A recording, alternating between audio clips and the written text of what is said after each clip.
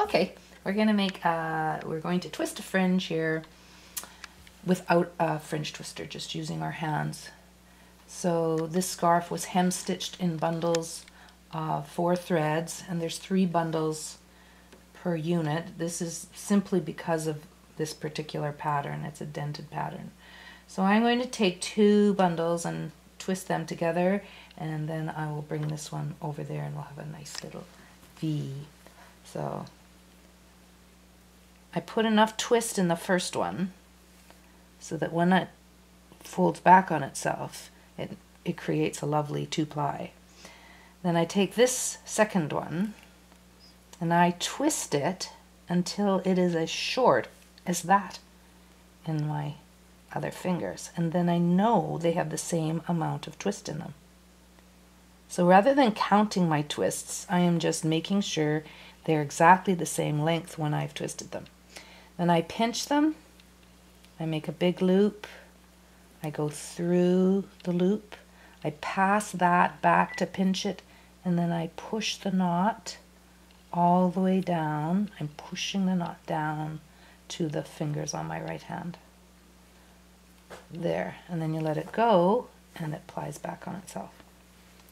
So how much twist you put in it is up to you. The more twist you put into it, the harder the fringe will feel to touch. So here I go.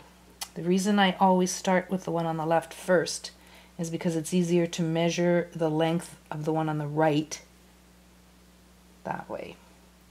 So,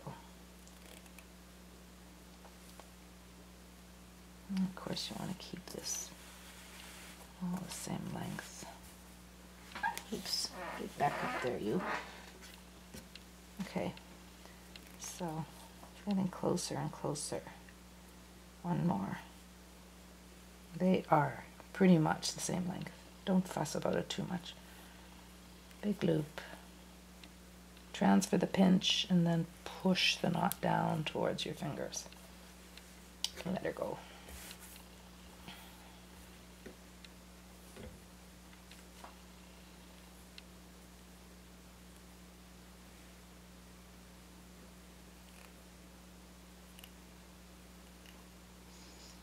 I'm faster at doing this with my hands than I am putting the little clips and taking the clips off.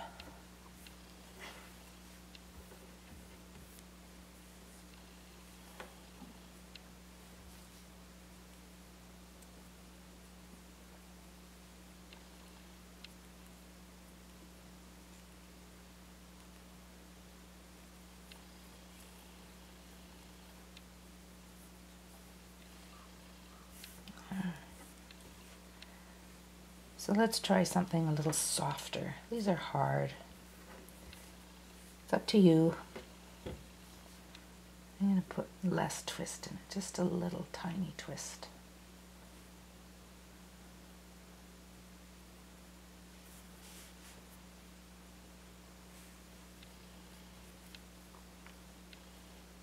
Everything else is the same, I just don't put as much twist into it. There. That feels softer than this. The ropey. This is softer. But like I said, it's up to you.